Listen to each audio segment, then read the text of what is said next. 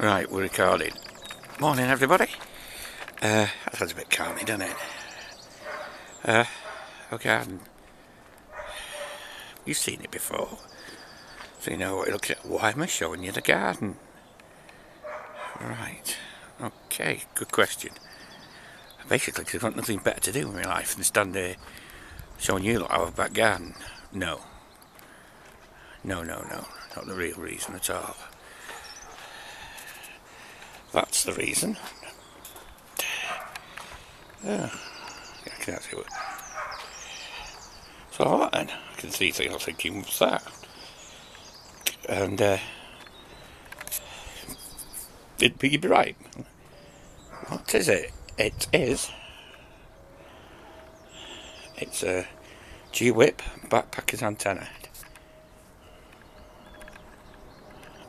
I can hear you. It looks nothing like an antenna. Not yet it won't. But believe me, when it's put up, when it's put up in the garden, all those bits will go together and you will see. Right, what we got, we got they're the glass fibre poles. There's six of them, there's three there, and three there, and they slot together. Right, the the actual antenna is a dipole. Uh, these two at the end are the extensions. You've got to measure them out to an exact measurement, but it gives you the measurements. And then you've got the middle sections. Those down there are the tuning coils. 80, 40 and 20. You can buy more, but that's all we've got at the minute. And that's the carry tube that goes in and that's the dipole centre so and again three more poles. Uh, and the bag. So that's it. So it looks like in bits. Oh hang on there's some more yet. Uh, what we have here? My coffee but never mind. Guy ropes. Pegs. Start again guy ropes. Pegs guy ropes, uh, numerous pegs, tape measure for measuring it out because it's got to be exact, two plates that go on, uh, grounding spike to put it in, and some more coax. Don't need that coax, it just happens to be there, and the hammer for putting it in, and the screwdriver and adjustable spanner, and the carabiner. Uh, and that's basically it. Uh, nothing else now. Uh, got to put it together and and get it all sorted out. So we're going to put it together, self and hand, and then we're going to put it up, and we'll show it you it up. What I will do is I will make one taking it down. And you can see the respective parts put together. Like I say that's it. And that's where it's going. So I might as well get started. So for now I'll see I'll speak to you I'll, I'll see you in part two. Back again. Part two that's the dipole set up as you can see. Uh, the centre. Let's see if we can zoom in. Yes, we can. That's the dipole centre you're looking at. Uh, so at the top, U-bolts, U-bolts at the bottom. That's basically it. Zoom back out.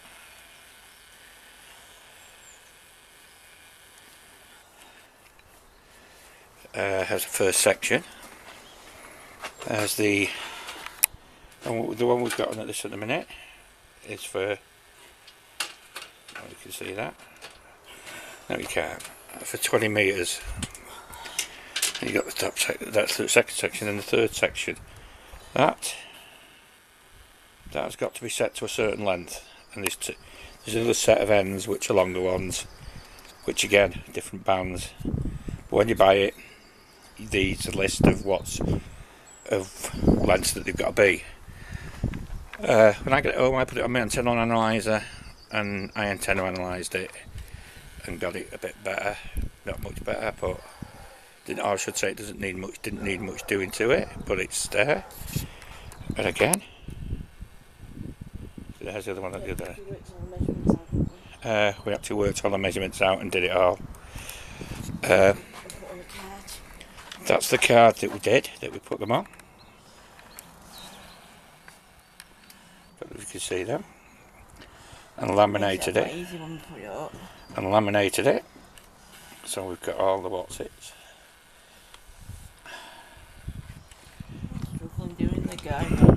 That's that's the box it's in. That's the what's it with the guy ropes off. And that's how he's doing the guy ropes to Echo Zero LMD. Uh, I've done the bottom ones. We'll take you out now and show you what's, go say, what's going on in the garden. Right, I showed you where it was going. Right, so I'll show you what we've got out here now. You'll be able to see it. Right, that's the mast. Obviously it wants the top sections putting up with the dipole putting on it. Uh, as you can see she put the put the guy lines out on the spreaders. You go, that'll make it a bit easier for you to see. On the spreaders. Go down, that's the pole. As you see, that one's not done yet, that's what it looks like without the guy lines on it. And you go down. That's the ground spike. Driven into the ground, and that's the bottom section of the pole which you put in. I find it easy doing it like that. Uh, you might not. And that just pulls in and out of the bottom of the ground spike. Uh, well, then we, what else do we do? I don't know if you can see that. I can't. Where is it? Yeah? No, it's uh, it'd be all right there. I've done it now. Too late. Uh, be all right. Um, yeah. Uh, that's two echo zero on the and should use one peg there. Uh, obviously it's going to need putting in properly, but that's just got to go. The other peg is there's the there's the what's again. Um, no. Uh, it was a bit windy yesterday, like Anne says. I've actually had a compass out. Uh, that way is north. Turn right round 380 degrees. And that way is south, obviously. That towards that post is west. And that over there is east so I've got a pretty good idea for when I come to come setting up the antenna for directional direction it. Uh, that's just something I've done. There you go that's that's the other peg peg number two. And again basically try to keep them at 90 degrees to each other. Doesn't always work but there you go. That's peg number three uh, they're just thrown in the ground at the minute. Just to hold them there. Uh, and that's peg number four. Peg number four, that's going to be for the connect the lead to to the to the antenna to tether it, the tethering lead. Uh, have a look at them. And all they do, as you can see, all they do you just clip through the holes. That's it. And she spreads them out.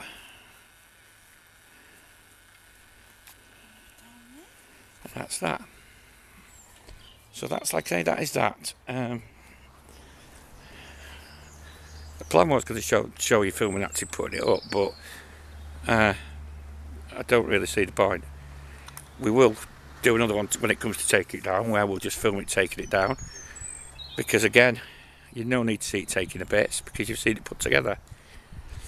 I'll just show you taking it down and obviously putting it up, reverse order.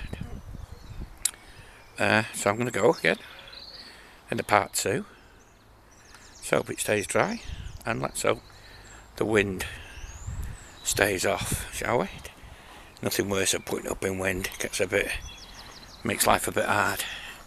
Again, that's the back as you can see, now empty. And you can put it on your back, you can carry it on your back, I have done. So that's it. Um, I've done my bit right, do you want to take the top section? We'll put the top section on. Do you want to take the top section down? Or do the film, or you can do the filming. And I'll just put, I'll do it. and I'll just put the top, we'll just put, the, slip the top section on. Well, the guy won't speak in front of me. The coax for me. Yeah, that's the coax. As you can see, I'm. Go on. I'm feeding the coax out, out, out to her.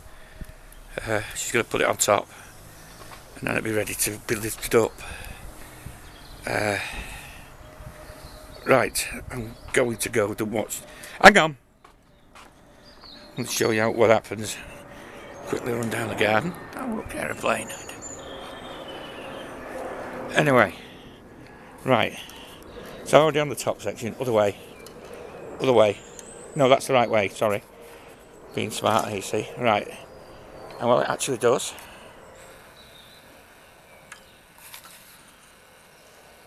Just literally. As you can see, my hand's not very steady.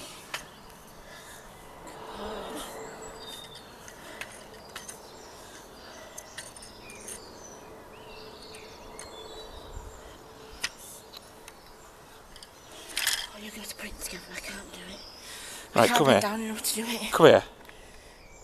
Come here. I'm all dizzy. Right. Oh, good. Hang on, I've got the right, I've got the... Oh, hang on a minute, I've got it stuck in my foot. Sake. No need to swear. I didn't, I said goodness sake. There's no need for it. I said goodness sake. You didn't. You don't. You don't handicute hard. All right. I got my Do it foot yourself stuck. in future. If you're going to start swearing. I didn't swear, I got my foot to, you can go and join the Bennington scum if you want. If you want Hang on, I can't get the right, right, right. Wait a minute, one minute, that's it. That's it.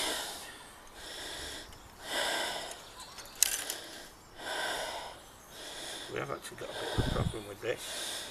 Oh, so it wasn't me then? No, There's actually a bit of a problem. So, if you, if you, uh, you can turn it off now. I'll turn it off. I don't need to it off, I'm. Right, so that's it. I've got a bit of a problem with the what's it. The what's it's. I've never used that on video.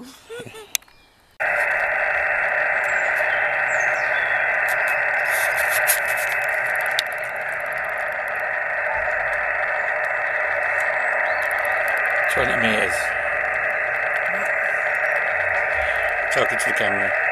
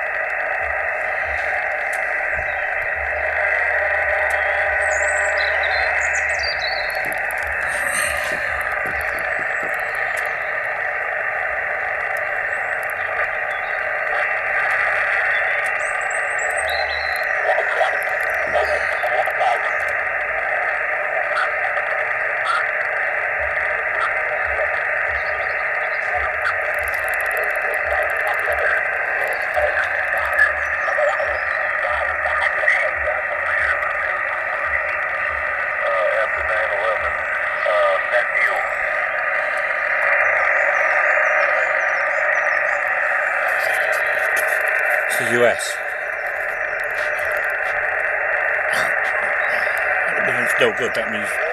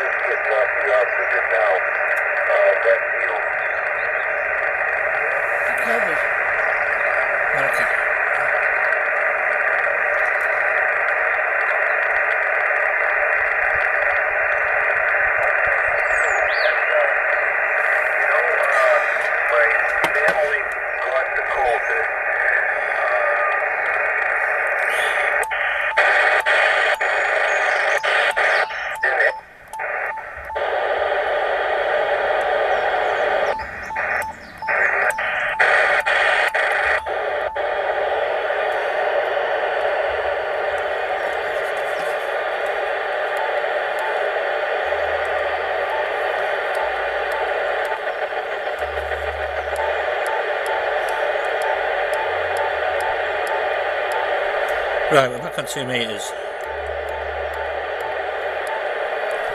Uh,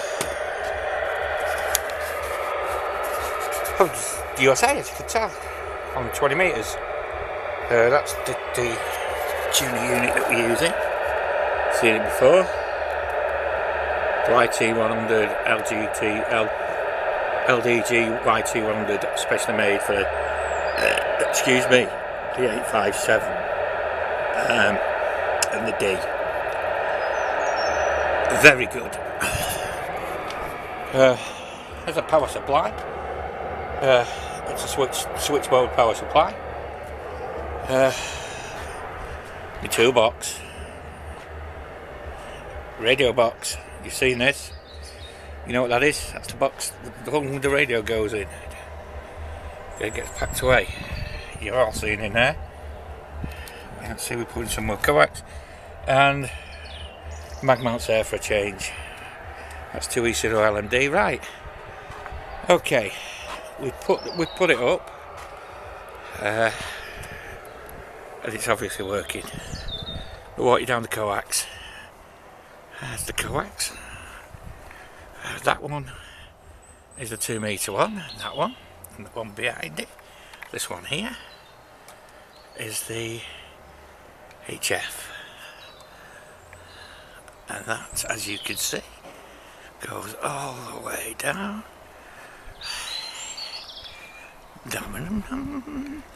I'd love to go wandering the coax. Mate, that's an all new what's to see further down the coax, isn't it? There it is. There's the antenna.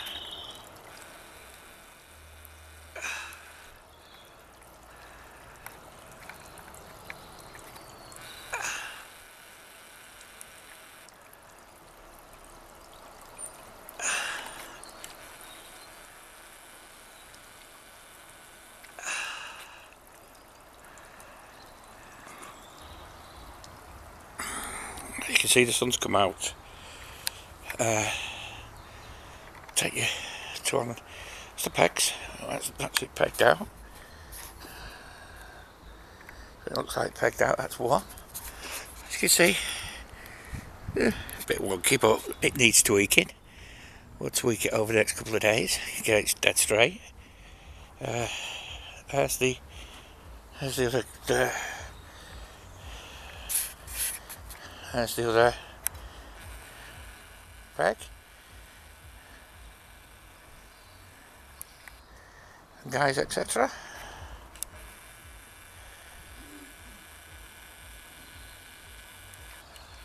I'll look at it from another angle. We're actually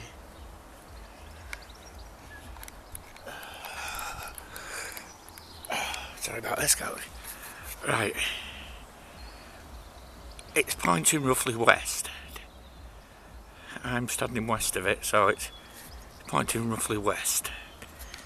Uh, so we get all the good contacts. We do get all the good contacts. Got states, Brazil, all sorts. Uh, back out of the, the trees. That's uh, the other guy line. One in the middle, one at the top. Uh, there's one. Uh, three poles up. One, two, three. And you've got three more poles. Or two more poles. And another one. And I get it, there it is, that's two poles up. And then top of the top pole you've got the, the, the dipole. Uh, and it just literally pushes together. This is very clever. Uh, there's the ground spike. Uh, I'm gonna do, we didn't show you putting it up because you didn't need to see it. What we'll do, I'll make one of taking it down. When it comes to taking it down, and obviously you put it up in reverse. But that's it. That's a backpacker's antenna up and running. Uh, last thing to show you is this. This is a new idea edition. After talking to somebody, it's a new edition. This is a tether for the top of the dipole. It goes to the centre section of the dipole. It's a tether to keep it, stop it flying about, and hopefully keep it in position.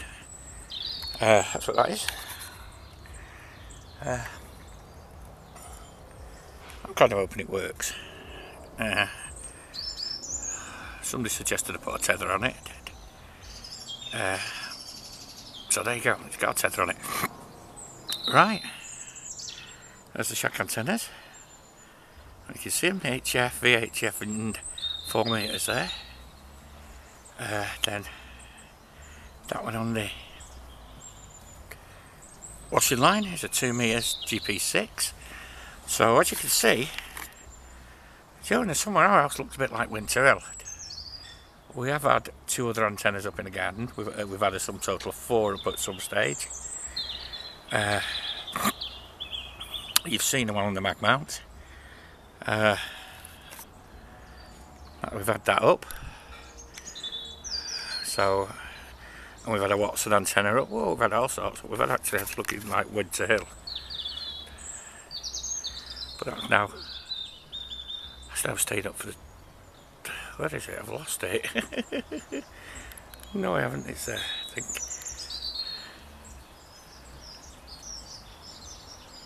That's down staying up for the summer.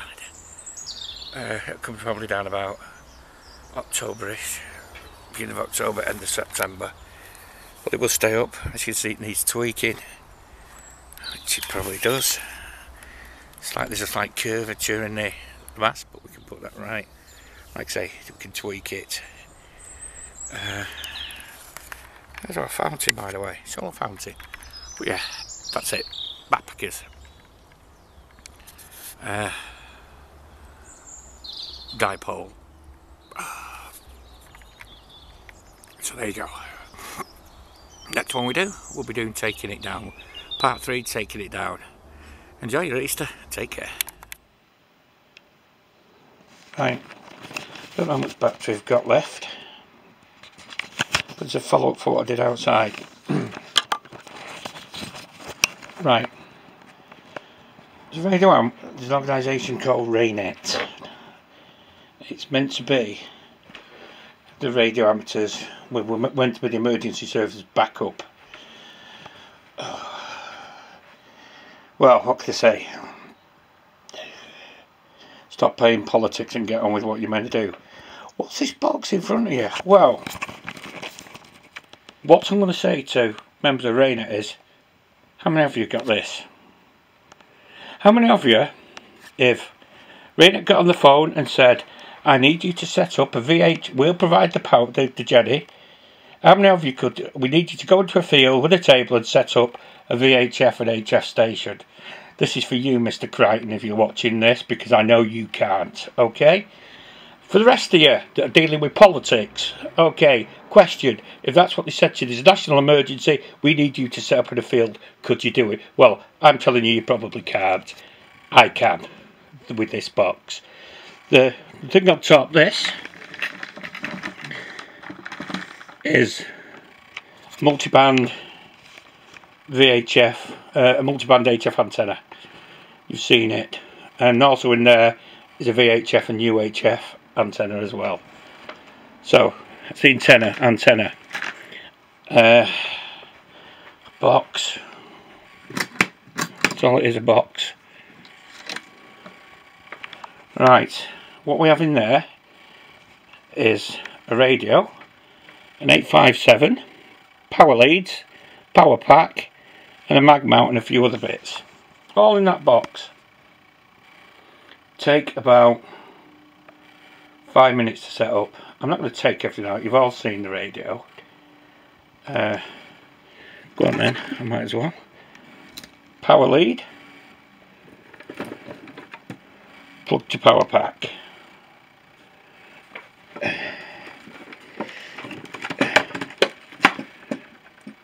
radio and tuner. There's the radio and tuner, there's the power lead, there's the power lead to the power pack, the PSU. There's the PSU. So what we've got there is PSU, lead, lead for the PS power to the PSU, radio and tuner. In the box we have various bits in there. Uh, that's also for the antenna as well. We also have in there a